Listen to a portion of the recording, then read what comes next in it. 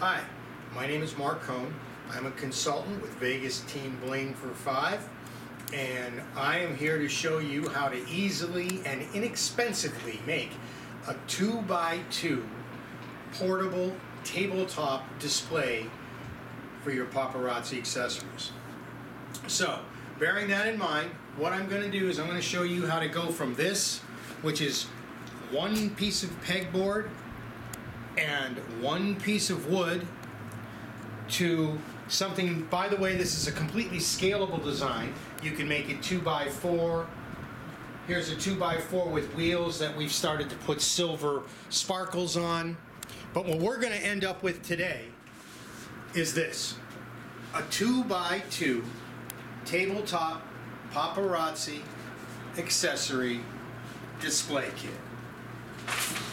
When you're done, you simply close it up and carry it out.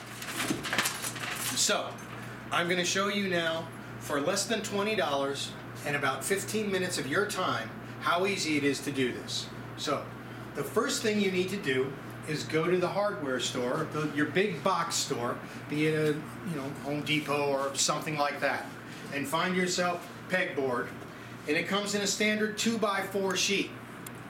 And then after you find this in a two by four sheet, you go down the lumber aisle and you find the least expensive piece of eight foot one by three.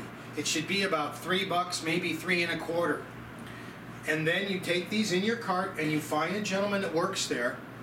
And if you ask him nicely, he'll be more than happy to make all your measured cuts for you.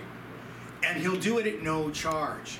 So, when you find a nice gentleman, you give him your 2 by 4 pegboard and he cuts it in half. And when he's done, you have both sides of your 2 by 2 portable accessory display case.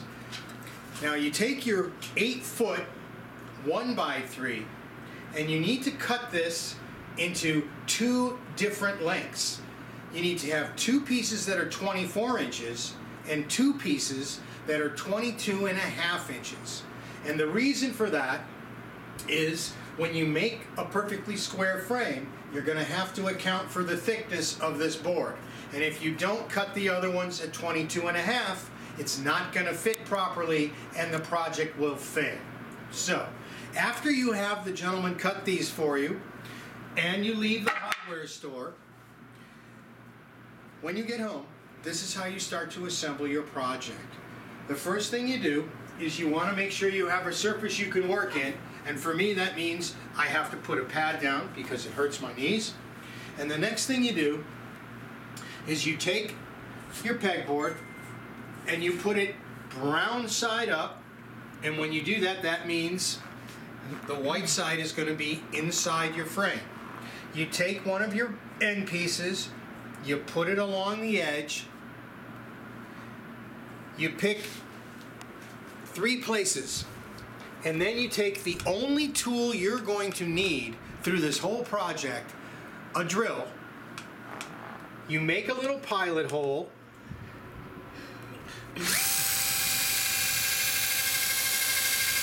And when you make the pilot holes, you do that so you can easily put everything together. Because without the pilot holes, what happens is you end up not being able to complete the project in a timely fashion or you have everything fit together well. So, after you've made your pilot holes, you take the same tool and replace the drill bit with your screwdriver bit. You take the screw, it's a small half inch or three quarter inch by 364 screw. You put it in your pilot hole, of which you've made three, because you put three on each side, everything is going to fit nicely and stay secure. When you do that, you then do it on the bottom, and then you repeat the procedure as you fill in the other side. And when you're finished, what you're going to have is one box that's been completed on all four sides And once you have a completed half, a completed box, you're gonna wanna put your piano hinge on. And I'm gonna show you how to do that right now. And it's truly a very critical part of this project and a very easy part of this project. So, if you take your piano hinge and if you look at it and place it down on your board, the piano hinge has a notch where my finger is. And that notch is like a measuring guide. And if you place that notch on the edge and then place the other end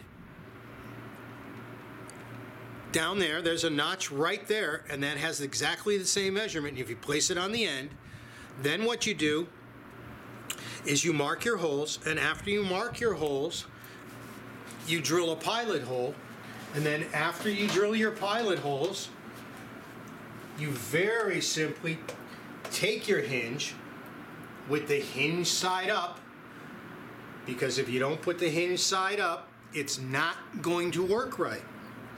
So once you've done that with the hinge side up and you have your pilot holes drilled,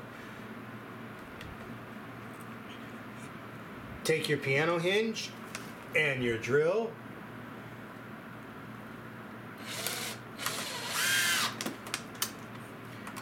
And you use your pilot holes. Complete the project by putting the screw in each and every one of those holes that you made. And then once you do that, you take the second box that you've made by doing exactly the same thing you did when you made this one. And you take that second box when it's finished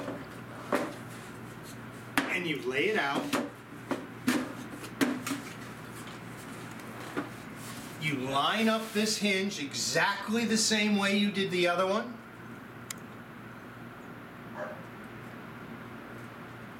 You drill your pilot holes. You then tighten down your piano hinge. And now you have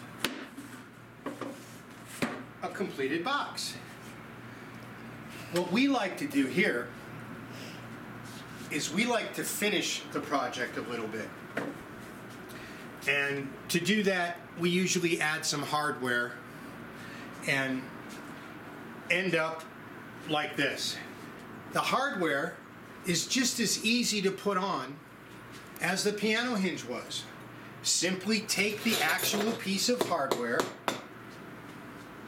put it down on your box, mark the holes, drill your pilot holes, screw it down, and by the time you're done putting the handle on and using exactly the same procedure to put a clasp on, which by the way, the hardware comes in packages of two, and it's generally $2 for a complete set of two latches and a complete set of two handles.